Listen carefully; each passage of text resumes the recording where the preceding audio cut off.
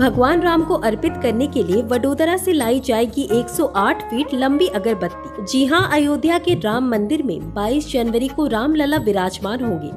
इसे लेकर पूरे देश में काफ़ी उत्सुकता है। अयोध्या में भी इसे लेकर तैयारियाँ तेज हो रखी है। राम मंदिर हिंदुओं की आस्था का विषय है। लिहाजा देश के कोने कोने से लोग अपनी तरफ़ से इसमें योगदान देना चाहते हैं। इसी क्रम में आयोजन को खास बनाने के लिए गुजरात के वडोदरा में अगरबत्ती बनाई जा रही है। इस अगरबत्ती की हाइट 108 फीट लंबी होगी। अगरबत्ती बनने के बाद इसे अयोध्या भेजा जाएगा। खेत में लोहे के 10 से अधिक ट्राईपॉड स्टैंड लगाए गए और उसके ऊपर अगरबत्ती बनाई जा रही है। ये जो अगरबत्ती है, पाँच तत्वों में से बनाई हुई है। 108 फुट इसकी लंबाई है, साढ़े तीन है। ये अगरबत्ती मानो या तो 108 मूली यज्ञ मानो है बराबर है। क्योंकि जितने यज्ञ के अंदर जो सामग्री यूज़ की जाती है, वो सारी सामग्री इसमें यूज़ किया है। ये अगरबत्ती भव्य शोभा यात्रा के साथ अयोध्या ले जाएँगे, वहाँ प्रभु श्री राम को अर्पित करके उसको प्रज्वलित करेंगे। ये कंटिन्यूस डेढ़ महीना तक प्रज्वलित रहेंगी।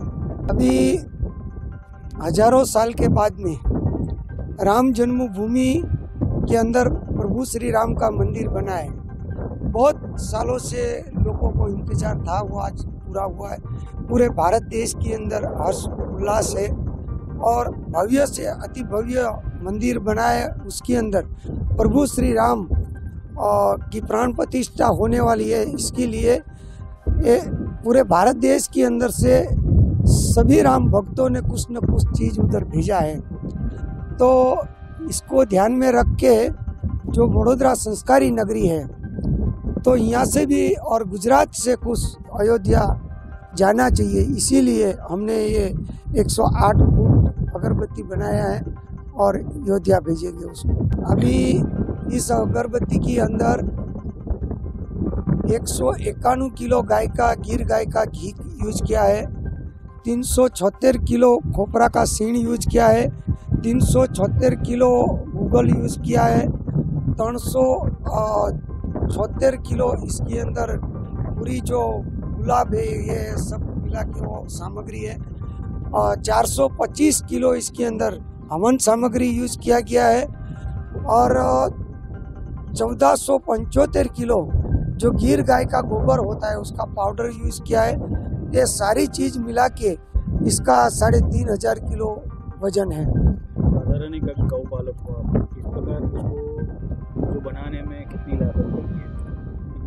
अभी ये अगरबत्ती बनाने में तो कम से कम पाँच, साढ़े पाँच लाख रुपए की लागत लगा हुआ है।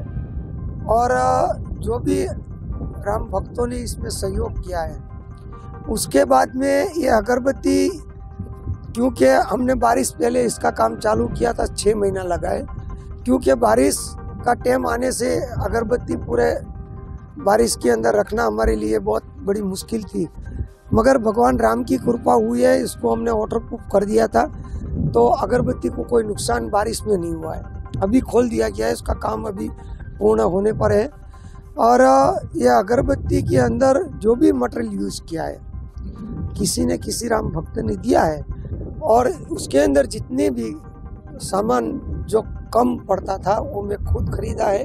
और अगरबत्ती क्योंकि ये भगवान राम की कृपा होती है, जब ये काम होता है, बाकी तो नहीं होता है। मैं तो खाली इसमें नहीं अयोध्या में बन रहे भव्य राम मंदिर की प्राण प्रतिष्ठा होने वाली है। इस खुशखबरी को लेकर करोड़ों राम भक्तों में गजब का उत्साह देखने को मिल रहा है। ऐसे ही एक उत्साही राम भक्त है, बासठ साल के नेमाराम प्रजापति। जो अहमदाबाद से राम रथ साइकिल पर सवार होकर अयोध्या जा रहे हैं। आपको बताते चले कि नेमाराम अयोध्या में राम मंदिर की मांग को लेकर बीते 20 सालों से साइकिल पर नंगे पैर भ्रमण कर रहे हैं। अहमदाबाद टू अयोध्या के इस यात्रा में नेमाराम जयपुर से गुजरे तो मुख्यमंत्री आवास भी पहुँचे।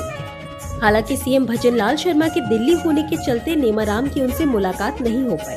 इसके बाद नेमाराम ने भजन लाल शर्मा और उनकी सरकार को सुशासन का आशीर्वाद देते हुए साइकिल के पैडल को बढ़ा दिया, जिसे उन्होंने राम रथ नाम दिया है।